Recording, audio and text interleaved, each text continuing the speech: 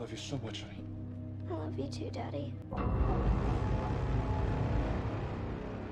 Hey everybody, it's B Dizz, the rock star part of Super Obvious. In this video, we're talking about American Horror Story Season 10, Episodes 6 through 10. Let's go. We have Alma killing her dad Harry after him not wanting him or Alma to take the pills no more after going to get back her newborn brother and is framed for the murders of Belle, Austin, and the Pale People, and Alma is going to be staying with the chemist and Ursula. There is a meeting where the council doesn't care about the dead chief of police found in the ocean. We have Alma killing the teen who seems to be her competition for the lead violinist. There's Ursula, who hijacks this meeting in an auditorium, trying to influence a bunch of young writers by giving them the black pills to spark their inspiration. But all the viewers in attendance aren't talented, so they basically turn into more of the pale people, killing a bunch of people out in the streets. Now, we're about to really get into some crazy stuff. Take my hand, Mommy. You don't have to be afraid. We go old school, like the black and white days, where a woman gets controlled by something and makes her husband's head explode and goes super splat everywhere.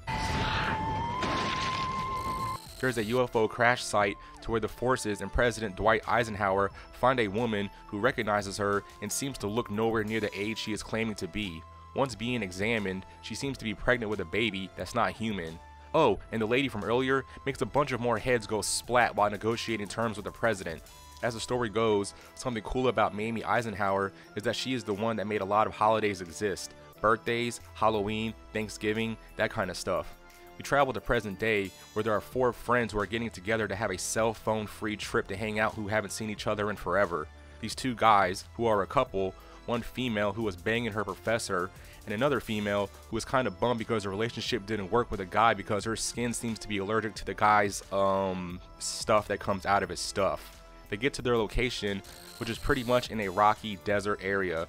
They find a bunch of animals that were cut in half from like top to bottom with no blood. They try and leave, but are abducted by aliens and all appear back in the car but in different seats and don't know what happened. Going back in the day, we have this back and forth where the president is being forced to cooperate with the aliens and their terms. We see a lot of big people like Steve Jobs, Richard Nixon, Marilyn Monroe, also a few familiar cast members from previous American Horror Story seasons, which the show was known to do. We see events like the faking of when we first set foot on the moon, the building of Area 51, which is top secret for the government and aliens to do their work, which the president was pretty much forced to agree to happen. He has also let the aliens abduct thousands of people to be experimented on to make an alien slash human hybrid, but also saving hundreds of thousands of people.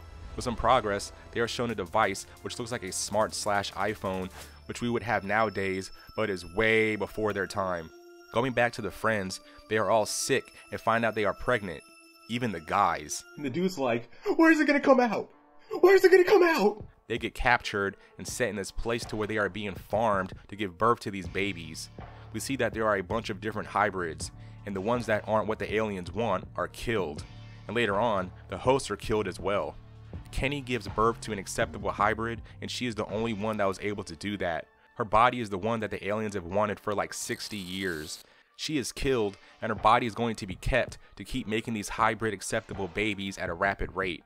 All of the four friends are killed, including the ex president's wife, who was given a safe spot where she was going to live there forever, but is killed when speaking up and is considered a traitor. But yeah, guys, that's the rest of the episodes for season 10. Let me know in the comments how you felt about the season. Like and share the video, and subscribe to the channel for more content. And I'll see you guys in the next one. Totally for sure.